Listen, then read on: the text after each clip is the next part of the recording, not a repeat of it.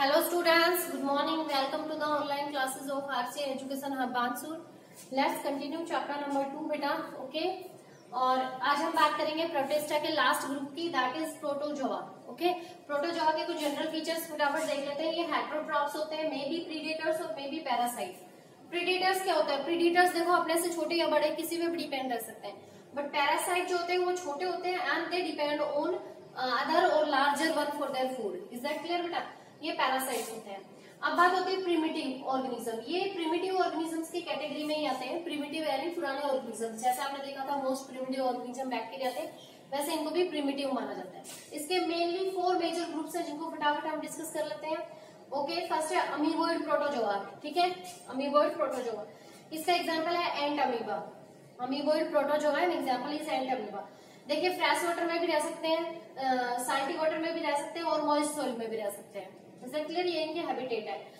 टेकुलर feature की बात करें तो इनमें सूडोपोडिया होते हैं। सूडोपोडिया आपने टेंथ क्लास में पढ़ा होगा फास्ट फीट आपको पता है अमीबा के जो स्ट्रक्चर होता है इरेगुलर होता है। और इसके जो ये स्ट्रक्चर है फिंगर लाइक प्रोजेक्शन है, जो फ़ूड को कैप्चर करने में काम करते हैं, या फिर थोड़ा लोकोमोशन में भी काम करते हैं, इनको हम कहते हैं सूडोपोडिया इसका मेन काम यहाँ पे यही है कि जो फ़ूड पार्टिकल्स है, उनको एंकर कर लेता है, उनको इनटेक कर लेता है with the help of pseudopodia silica cells होती है इसमें, ठीक है? स्पेशली जो मेरीन वाटर में रहते हैं, ठीक है? जो साल्टी या वाटर या मेरीन वाटर में जो स्पेशली रहते हैं, उनमें सिलिका सेल्स होती है।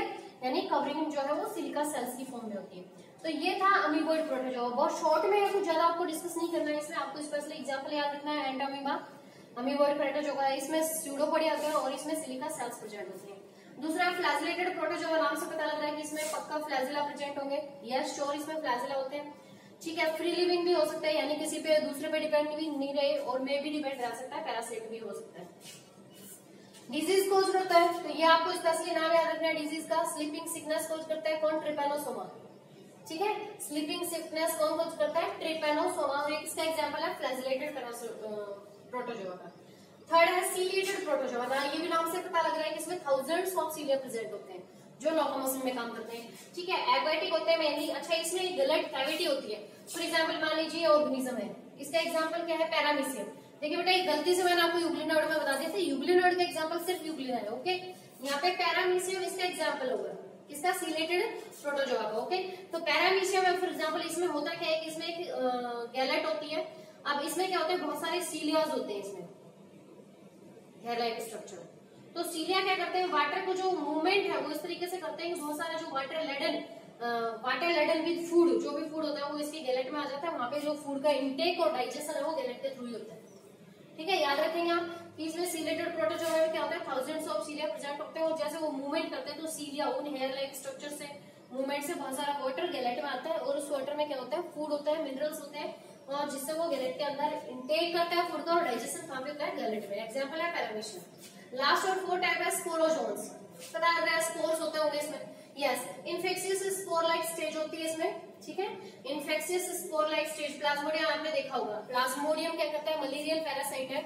मलेरिया कोज करता है। और मलेरिया की लाइफ साइकिल अगर आपको याद है तो मलेरिया की लाइफ साइकिल ह्यूमन बींग और मॉस्किटो दोनों में कंप्लीट होती है। ठीक है? तो वहाँ पे जो स्पोरोजोइड्स रिलीज़ करते हैं। स्पोरोजोइड्स क्या है? एक इन्फेक्शियस स्टेज है। वो जो स्पोरोजोइड्स रिलीज़ करते हैं, वो कौन करते हैं? स्पोरोजोन्स करते हैं। और स्पोरोजोन्स का एग्ज़ाम्पल है प्लाज्मोडियम ठीक है, आप याद रखेंगे इसकी जो इन्फेक्शियस स्टेज है, उसको स्पोरोजोइड बोलते हैं। ठीक है बेटा? तो ये थे फोर टाइप के अमीबा आई होप क्लियर हो गए होंगे आपको। कुछ जो इंपॉर्टेंट चीज़ें मैंने आपको बता दी, उनको आपको लर्न करना है, बाकी इसमें कुछ ज़्यादा खास है नहीं okay have a good day अगला वीडियो हम अगले टॉपिक पे स्टार्ट करेंगे। बाय